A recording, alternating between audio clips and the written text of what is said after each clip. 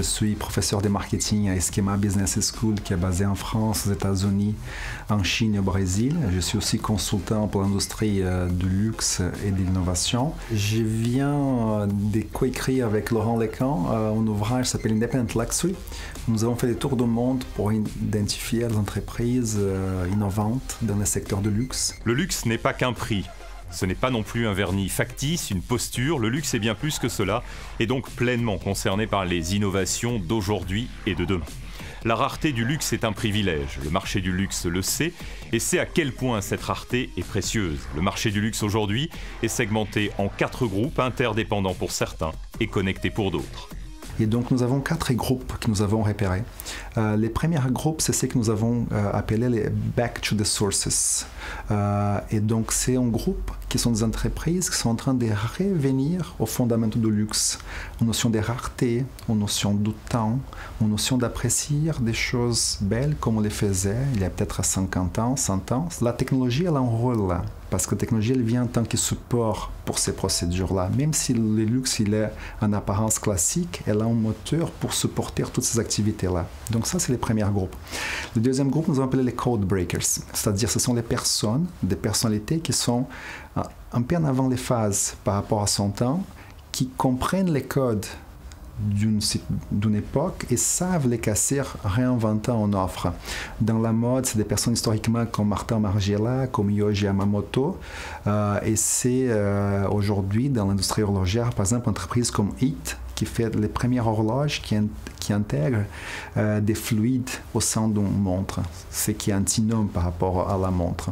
Comment je pourrais faire une montre du 21e siècle? C'est-à-dire, je vais voir les matériaux à l'aéronautique, à la Formule 1, les plus innovateurs, et je vais concevoir mes montres en partant de ces matériaux-là, en cassant les codes.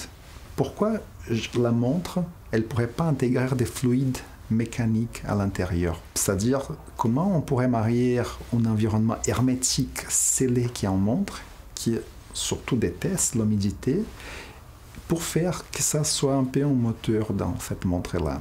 Ils ont réussi, avec beaucoup de recherches, avec beaucoup de RD, d'arriver à faire donc, cette première montre euh, qui intégrait ces fluides à l'intérieur, donc avec un environnement tout à fait scellé.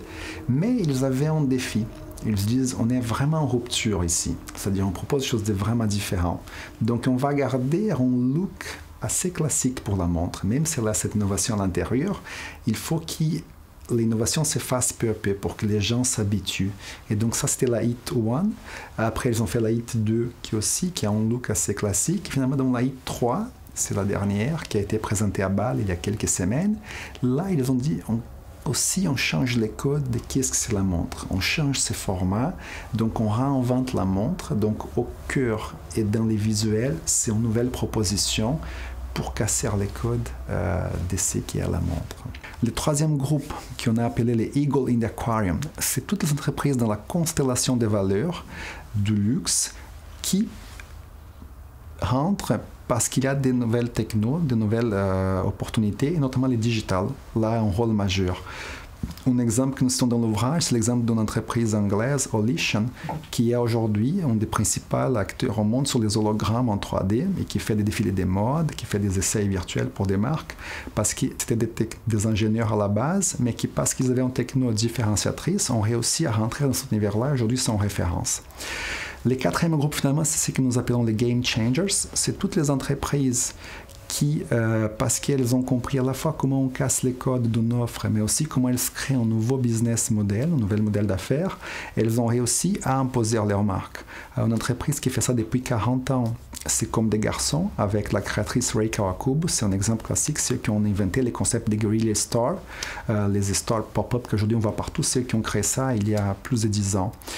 Et euh, plus récemment, nous pouvons citer les cas d'entreprises en Suisse euh, MBNF, Max Busser and, France, qui sont en train de révolutionner les concepts de la montre humaine. Donc on parle plus des montres, on parle des machines horlogères. Et aussi dans les voitures, W Motors, la première entreprise de hypersport qui est basée à Dubaï. Donc on a aujourd'hui la voiture la plus chère au monde, qui est faite pas dans un marché classique, mais qui est faite à Dubaï.